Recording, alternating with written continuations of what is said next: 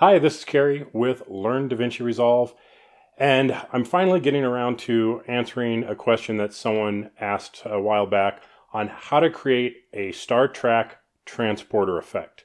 Uh, I'm going to show you the end result here. Let's uh, take a quick look.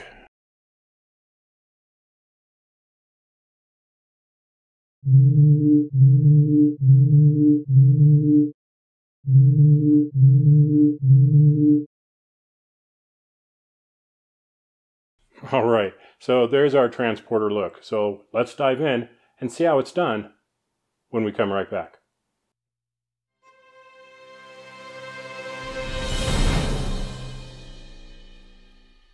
Okay, so this is our final uh, composite here. And unlike most videos where I start at the beginning and work through it, we're going to start at the end and kind of work backwards because there's a lot of pieces here and I had to put it all together to make it all work and show how it was done. So we'll um, we'll kind of backtrack here a little bit. So first I'm going to get these pieces out of the way and I'll get the sound effects out of the way. Let's grab all these and we'll move them. And so let's start with the footage. So I have this footage of me walking onto the transporter pad, and that just fades out to a blank shot with me not standing on it. So it just fades out. So we'll just watch that. And we have our fade out. And then we do the opposite. On the other side, I have a just a clean plate right there that fades into me standing there. Okay, so pretty simple. We have the fade out and we change locations and we fade in. Now, sure, that could have been enough, but no, we have to go crazy with it.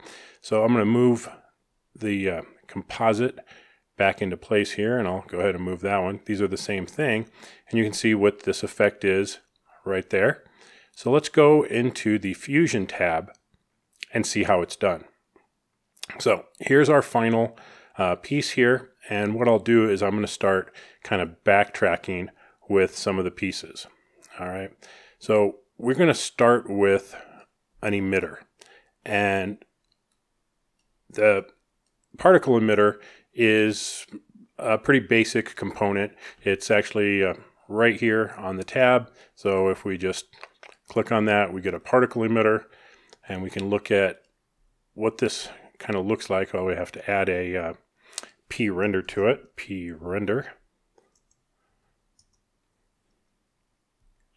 And we can see a basic particle emitter starts off as a little cube.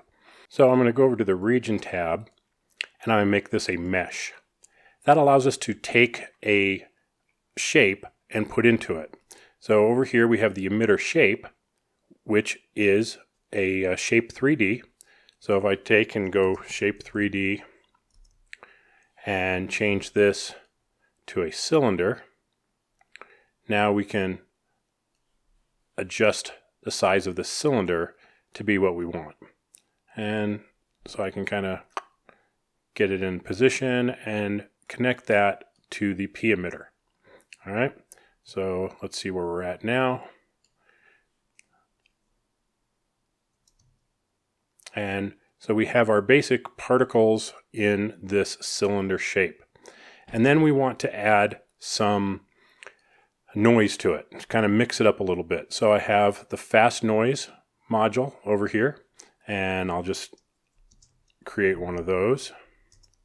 So we need to add kind of some dispersion around it a little bit. So I'm going to create an ellipse and I'll put that over here so we can see it's really coarse. I mean, it's just a fine line there. So we can soften the edge up. We can um, bring it down, make that a little smaller there, kind of match, uh, you know, our, our shape a little bit. And we attach the ellipse to the fast noise. And we can't attach the fast noise to the P emitter yet. We have to go to the P emitter and Oops. Well, okay.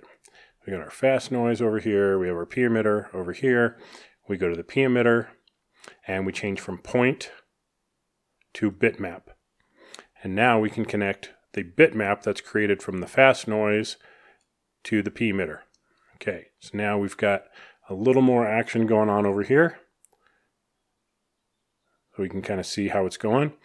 But we need to, I, I, I did that kind of push up from it. So on the P emitter, I'm going to go and add some velocity to it. And it doesn't need much.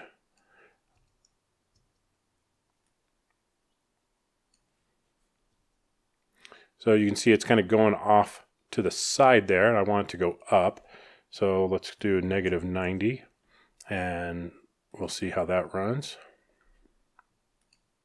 And that's the exact opposite from what I want. So I want plus 90.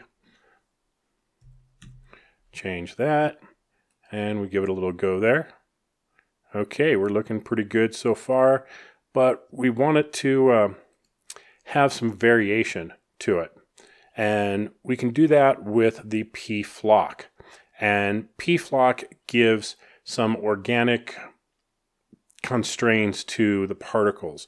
And this is good for like emulating things like birds or um, groups of things that kind of are going together but have a little uh, discrepancy to them. So after the P emitter, I'm going to add a P flock. Okay, and let's see how this is going and we can increase the flock number, the follow strength, repel strength, just so they get a, a little more mixed up in there. Okay, that's not looking too shabby there. And then we want to kind of give it some flow. And to do that, I'm going to add a P vortex. Now we can kind of control the um, more of the spinning and that kind of aspect to it. So now it's kind of starting to look a little bit more. Um, well, it's not it's not so static. It's it's starting to mix up a little bit. So let's give it some a little more strength or a little more power. Now we have a little bit more of an organic flow there.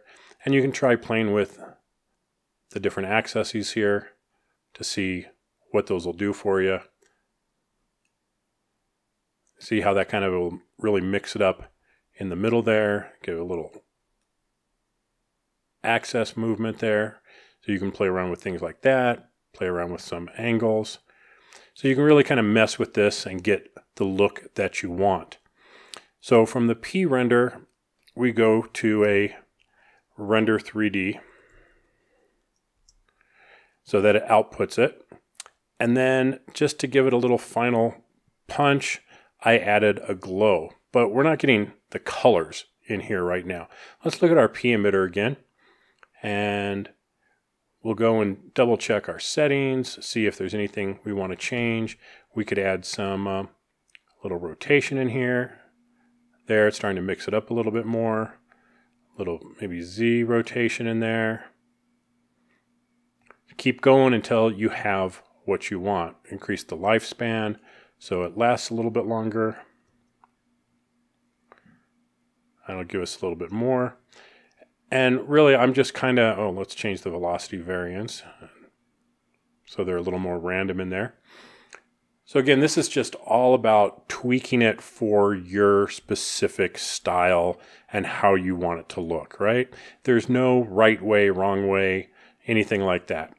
Let's go to our color controls and we'll just add some color to it. And then, like I said, after the P render, now it's in a 2D world and I can add a glow. So there's our particles going on here. So it's starting to look kind of cool. And I'm going to put over here. Let's kind of play around with some of these things. So now you can see it's kind of off the screen there. I want to bring it down so it's near the bottom. Let's take our shape. We'll move our shape down and decrease our radius so it's a little narrower, change our height. Now let's see what we got. All right, this is getting a lot closer to what I wanted. So kind of near the bottom of the screen. And again, play with it. Just mess up all these settings, do whatever you want with it. And what I'd really like to see is who can do the coolest looking transporter effect. Now, what I've done is I've taken all these files and this project file, and it's on my website at kerrygarrison.com slash transporter. Okay, so the link is in the description. Check it out there. Download this project file, go through it just like I've done, play around with the settings so you kind of understand what the different things do because this is a very cool example of using the particle emitter and then overlaying it onto video and, and just having some fun with it. I, I, think it's a very cool project that I think you'll all enjoy doing and just seeing who can come up with the coolest. Maybe add some lens flares into it or uh, who, who knows? I mean, you're the, you're only limited by your own imagination and the software can do a tremendous amount of things. So don't be afraid to really get in, dig in, and start messing with the different settings. Each of these things, the emitter, the flock, the vortex, the renderer, all these things will affect how those particles move, the sizes, the variances, and you can create a very organic look, a very you know, computerish look, all kinds of cool things with it. And once you really get down and master the particle emitter, you can do all kinds of things from flames to embers to leaves to birds to, I mean, you name it. You can do all kinds of things with the particle system. It is one of the most powerful systems within the Fusion engine. So check it out, have some fun with it, experiment, play around. Go to kerrygarrison.com slash transporter. Again, link will be in the description.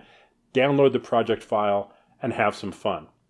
This has been Kerry with Learn DaVinci Resolve. I hope you enjoyed this. Like I said, I didn't want to go into each one of these things and build it from scratch. Otherwise, we'd be here for an hour, and nobody wants to listen to me for an hour. I don't want to listen to myself for an hour. You probably don't want to listen to me for an hour. So let's just see if this type of project works out. And if you enjoy this, I'll do more like this. So have fun. Let me see what you do. Post your video into the comments below, and let's see what you guys can come up with. This has been Kerry. Thanks for watching. Be sure and like and subscribe. Check that bell icon to get notified every time I put out a new video. Thanks for watching. I'll catch you next time. Bye bye.